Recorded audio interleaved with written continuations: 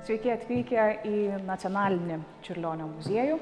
Čia yra saugomi šio garsaus menininko darbai ir šiandien mes susipažinsime su paveikslu Karalių pasaka. Nes karaliai ir karūnos yra viena centrinių šio menininko kūrybos ašių. Karalių ir karūnų simbolika lydi ir Mikalojaus Konstantino Čiurlionio palikimą saugantį muziejų. Architektas Vladimiras Dubaneckis sukūrė karūnuotą muziejaus fasadą, o muziejaus kieme lankytojus pasitinka Vlado Vildžiūno sukurta skulptūra Trys karaliai. Kaip ir dauguma menininkų Čiurlionis nemėgo aiškinti savo kūrybos.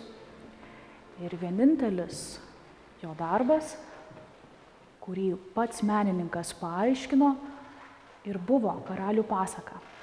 Šį pasakojimą užrašė Antanas Žmudzinavičius. Tad buvo du karaliai ir jie išėjo į mišką pasivaikščioti. Tas miškas buvo labai didelis ir patys karaliai buvo itmilžinai. Vaikščiodami po mišką jie rado mažą švytinti daiktą. Pakėlė jį, nesuprato, ką mato viduje, o ten buvo nupieštas mums gerai pažįstamas lietuviškas kaimas.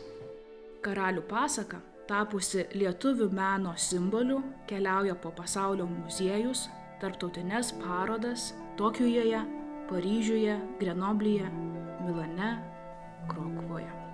Šis vienas garsiausių Mikalojaus Konstantino Čiurlionio paveikslų atstovauja Lietuvai Europos šalių ikoniškiausių meno kūrinių žemėlapyje.